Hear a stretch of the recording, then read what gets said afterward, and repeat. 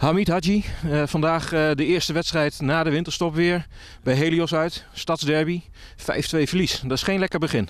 Nee, zeker niet. Uh, we hadden wel wat anders verwacht tegen Helios.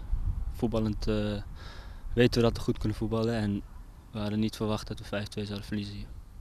Nee, zo begin je inderdaad niet aan zo'n wedstrijd. Zeker niet als je terugkijkt op de eerste seizoenshelft. Want toen hebben jullie het best heel aardig gedaan in de derde klasse nu. Ja, ja, we hebben goede resultaten neergezet. En ja, we kwamen ook met een gevoel hier naartoe van we willen die punten pakken. Want we spelen ook om de periode en dat is ook belangrijk.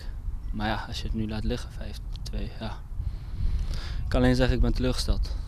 Ja, uh, zeker voor jou een, een belangrijke wedstrijd en een leuke wedstrijd ook. Die blauwe shirtjes waar je tegen speelde, die ken je wel of niet? Ja, ja ik volg jaar gevoetbald en ja, elke wedstrijd vind ik belangrijk. Maar dit is een speciale wedstrijd voor mij al mijn vrienden voetballen hier bij Helios. Maar ja, ik ben een sportman en ik wil elke wedstrijd winnen. Dus dat geldt ook voor deze. Maar ik ben ja, teleurgesteld. Waarom ben jij van Helios overgestapt naar Koninklijk UD?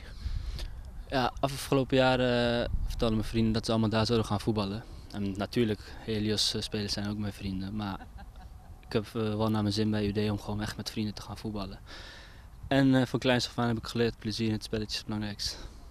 Oké, nou dat, uh, dat zag, er, zag, je er vandaag ook best een beetje vanaf. Want ik vond dat UD af en toe best heel aardig voetbalde. Ja. Maar het waren twee perioden. Uh, een kwartier uh, na aanvang van de wedstrijd en een kwartier in de tweede helft, het eerste kwartier. Ja. Dat jullie een beetje de kaas van het brood lieten eten. Ja, ja het je ziet het, we zijn een jonge, jonge ploeg en het gaat dan echt om details. Voetballen zijn we sterk, dat weten we zelf ook. We kunnen combinatiespel, die beheersen we goed. Maar ja, het zijn echt die kleine details die het verschil maken. Net even niet uh, overspelen of net even de bal te lang aan je voet houden. Ja, dat zijn kleine details en nu krijg je de extra op je hoofd. Jullie kwamen in de eerste helft uh, terug van een 2-0 achterstand.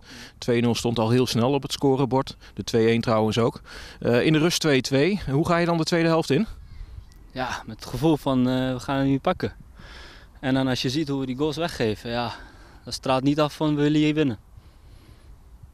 Dus ja.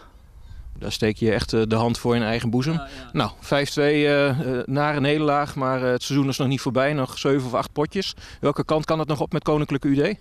Nou, ik, dit is een wedstrijd die we hebben verloren. Oké, okay, dat is jammer. Maar met de kwaliteit die wij hebben met ons team, denken we dat we wel goed kunnen eindigen. En daar gaan we ook voor.